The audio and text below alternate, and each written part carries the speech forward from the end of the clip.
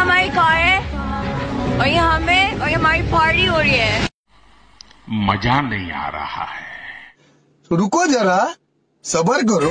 ये लोटा है ये मेरा हाथ है और ये झुंझुनू जैसी आवाज़ आ रही है ना वो मेरे दुकान के गले की चाबी है। मज़ा